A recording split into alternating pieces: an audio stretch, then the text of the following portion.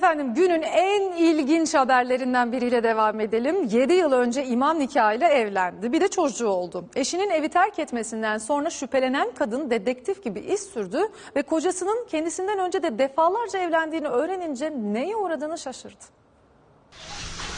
5 tane eşi var. 1 numarayla ve 3 numarayla resmi nikah var. 4 numara ve 5 numarayla imam nikah var.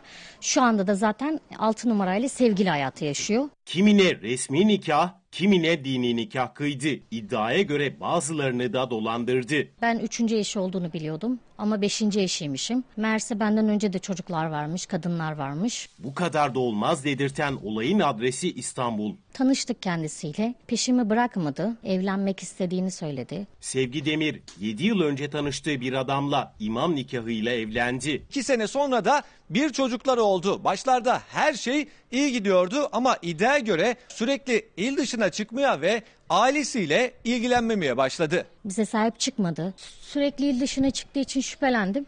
Araştırmaya başladım. Ve dedektif gibi iş sürmeye başladı. Damadım geldi benden 5000 lira para aldı. Artı gidiş o gidiş. Ne kayınvalidesinden aldığı 5000 lirayı geri ödedi ne de bir daha eve geri döndü. Kayınvalidesi parasını almak için onu aradığında telefona bir başka kadın çıktı. Telefonu açan kadın benim annemi benim kocamı neden arıyorsun demiş. O da demiş ki benim damadım o.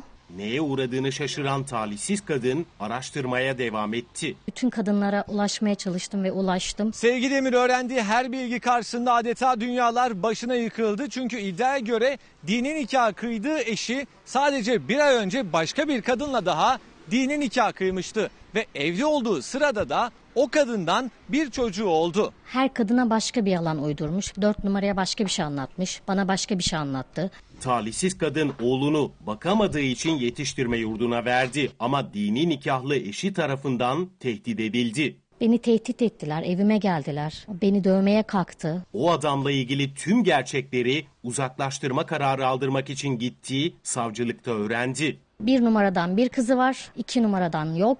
Üç numaradan bir oğlu var, dört numaradan bir kızı bir oğlu var, benden bir oğlu var.